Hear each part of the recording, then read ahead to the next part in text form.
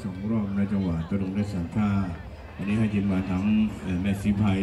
และเพลินพิษในกระทำของทีมและพวกเรานักดนตรีสหาสวรรค์บริกกันไปนะครับครับผมก็เป็นธรรมเนียมนะครับของศิลปินทุกอย่างก่อนที่จะมาแสดงก็ต้องเคารพครูบาอาจารย์กันก่อนนะครับ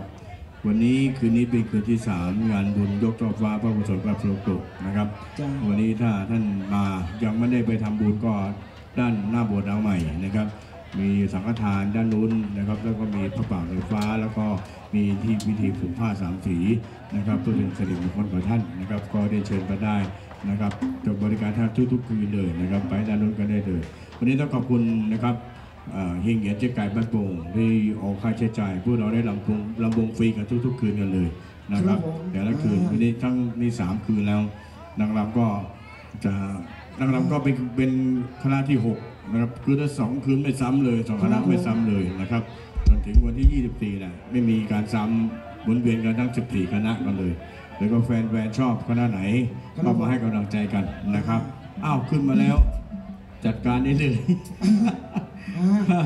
มาคอยแล้วใช่ไหมครับผมมาคอยกันเต็มหมดแล้วเออขอบคุณทุกๆทีมงานแล้วกันนะครับที่มาให้กำลังใจกันนะครับครับ